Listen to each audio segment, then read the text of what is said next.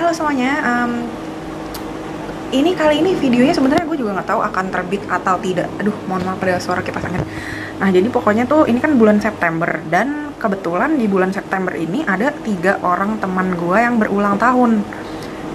Ya, as you know di bulan September itu yang ulang tahun banyak banget. Uh, terus kepikiran aja gitu. Kalau selama ini kan teman-teman ulang tahun kadang-kadang gue kasih hadiah kayak scrapbook gitu. Nah, tapi uh, baru kepikiran kenapa gue nggak bikin video aja? Karena kan sebenarnya gue udah kayak mulai uh, bisa gitu yang ngedit-ngedit video bikin-bikin video ngoceh-ngoceh nggak jelas kayak gini. Ya ya oke okay lah mari kita buat saja video ini. Nah untuk yang pertama uh, tanggal 1 September ini tahun 2020 um, ada Jessica Trixie yang berulang tahun. Jadi Jet uh, gue mau ceritain gimana ceritanya uh, gue bisa jadi uh, nge-surprisein lo terus um, kasih lo kenapa gue bisa kasih kalian kado itu? Dan ya pokoknya gimana cerita keseluruhan kronologinya aja ya. Oke. Okay. kenapa gue bisa jadi beliin kalian tiga baju unyu itu? Jadi pertama-tama uh, gue berpikir untuk ngasih kado tuh apa ya? Karena gue pengen ngasih kado tuh yang kayak bisa berkesan gitu bisa membuat orang yang gue kasih itu senang. Uh, tapi gue juga sadar kalau gue tuh nggak bisa kasih sesuatu yang mahal-mahal gitu. Gue uh, mikir pengen ngasih barang yang uh, bakal kepake, bakalan uh, terus-terusan gitu lo bisa pakai. Kalau misalkan gue kasih scrapbook kan paling nanti ter, uh, bisa dibuka, tapi nggak nggak akan lo sering-sering buka juga kalau lagi nggak pengen kan. Nah beda halnya kalau baju. Um, gue mikir lu punya baju dari SD itu yang warnanya hitam dan lu masih pakai sampai sekarang dan masih awet banget. Nah jadi gue akhirnya kepikiran untuk bikin eh untuk ng ngasih baju. Kemudian gue akan bercerita tentang surprise-nya. Jadi jujur aja awalnya gue tuh nggak berpikir mau datang ke rumah lu Jet karena gue sadar diri maksudnya gue minder juga gitu loh. Kayak maksudnya gue sendirian doang. Gue gak tau gue mau ngajak siapa. Maksudnya mau ngajak uh, flow juga flownya lagi isip. Terus jadi gue mau ngajak siapa? Gue nggak deket sama teman-teman lu gitu loh. Dan aneh juga kalau gue datang sendiri. Tapi ternyata si Flo ngajak. Ya udah gue dengan senang hati banget menerima. Awal-awalnya tuh kita hampir aja mau salah karena kita mau bawain lo kue dan kita mikir mau bawain lo red velvet red velvet ya. yeah dan ternyata untung gue nanya lu dan gue akhirnya tahu kalau lu bikin red velvet untuk diri lu sendiri. Jadinya akhirnya kita ganti. Jadi sebelum gue bak tahu gue bakalan surprisein lu itu gue kan memang udah merencanakan mau ngasih lu kado kan.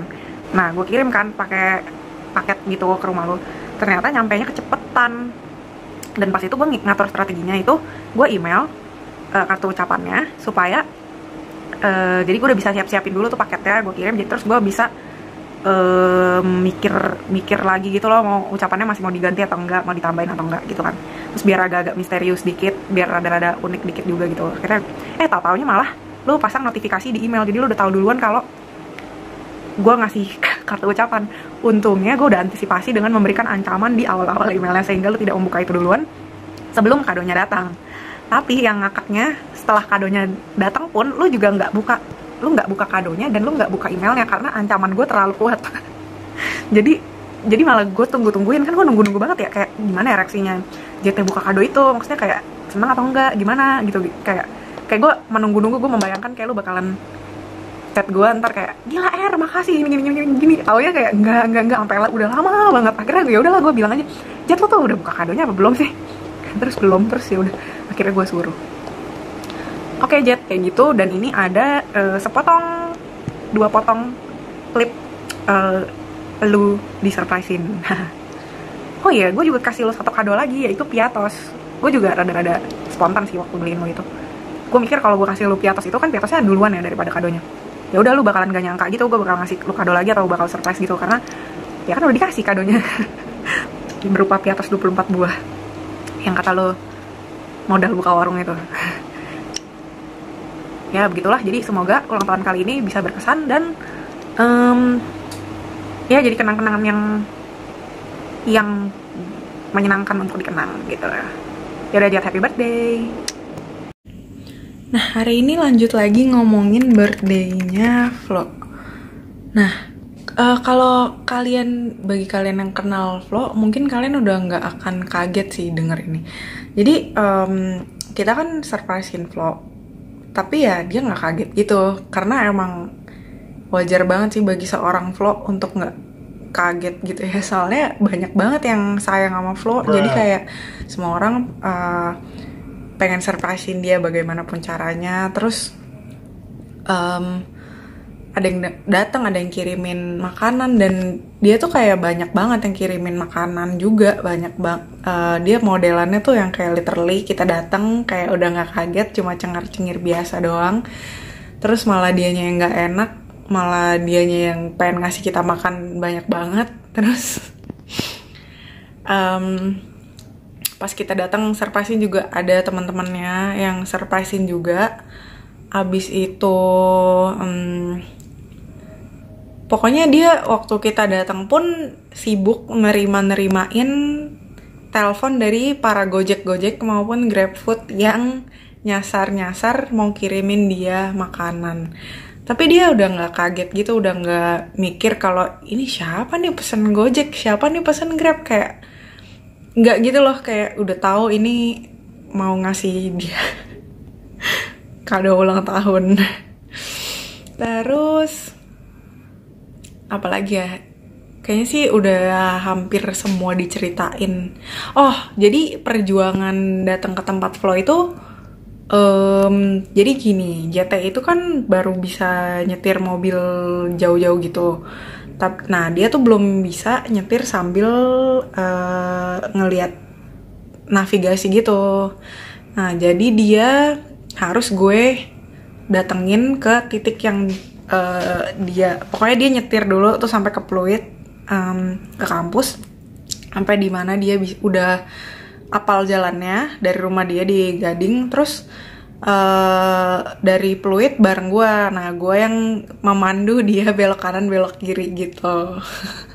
PR banget ya. Padahal uh, rumah gue ke Flo itu kayak deket gue di Tanjung Duren flow di Jelambar tapi gue ke dulu. Nah ya udah tapi tidak apa-apa demi flow.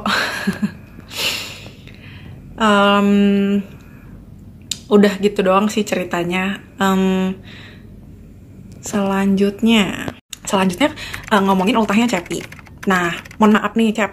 Nggak kita datengin surprise ke rumah karena emang uh, susah gitu jalannya susah ya pokoknya lebih susah gitu lah ke rumah Cepi dia kan rumahnya di uh, dekat Semanggi nah tapi kita kirim kado dan gue sendiri kirim kado baju yang sama sama Flo dan JT Nah, jadi karena kita, karena gue beliin mereka bertiga baju yang sama, jadi akhirnya gue memutuskan deh gue juga aja sekalian um, beli baju yang sama. Nah, ya ceritanya udah habis diceritain di depan, gimana kadonya itu sama aja.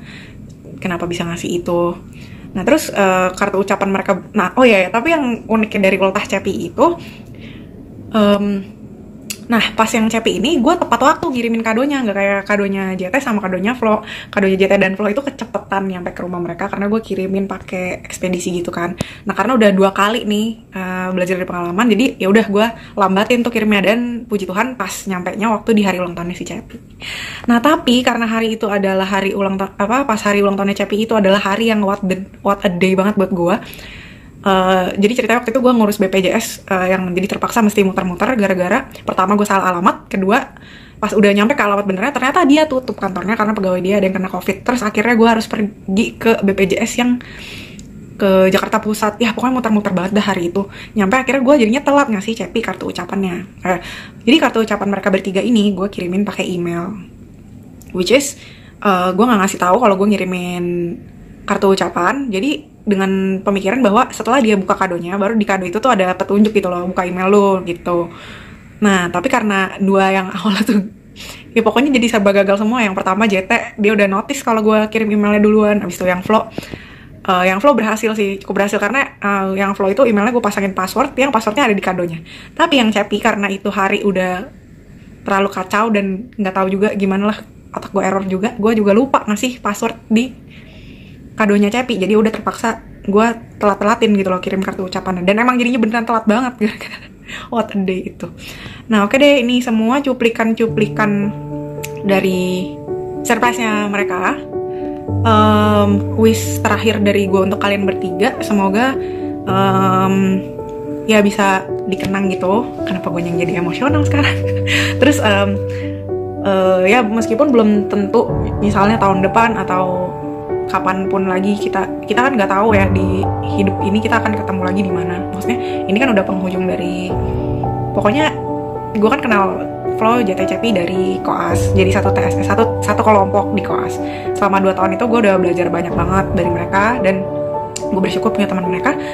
Terus uh, pokoknya ini tuh udah terakhir. Jadi sekarang kita udah lulus posisinya nih sekarang kita udah lulus uh, dokter dan tinggal disumpah aja. Nah untuk selanjutnya kan kita nggak tahu apakah nanti kita internship bakal ada yang bareng atau nanti saat kerja kita akan ketemu lagi gitu. Akankah di kehidupan kita kita akan cross the cross our path lagi? Tidak tahu. Jadi ya gue harap sih ini bukan surprise yang pertama dan terakhir dari gue untuk kalian. Cuman andaikan iya semoga ini bisa menjadi kenapa gue bisa menjadi uh, kenangan yang baik lah di antara kita berempat dan di antara TSS Sakda Oke, okay, um, sekian dulu video kali ini.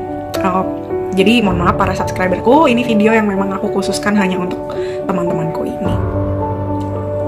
Yaudah, thank you. See you in my next video. Bye. happy birthday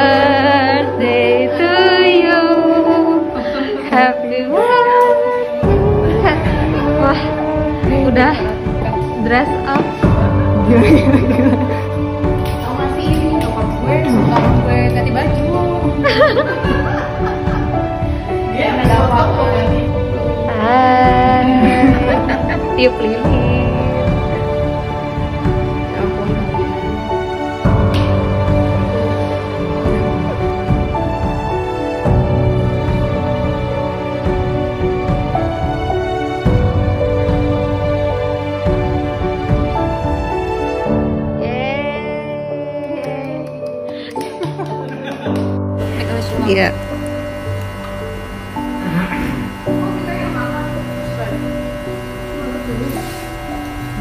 Men, tiup lilinnya, tiup lilinnya. Yeay, happy birthday. terima kasih.